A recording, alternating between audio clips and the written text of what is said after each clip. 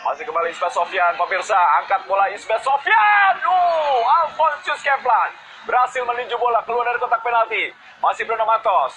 Coba mencari celah yang mungkin bisa ditembus. Simic, baik sekali. Alfonsius Keplan melakukan one on one penyelamatan tadi. Ya. Dan kemudian Marcus Simic. Ya Marco Simic sudah tahu apa yang harus dilakukan ketika dia menerima sodoran bola ya. Shooting, shooting dan shooting itulah yang di kepalanya dia.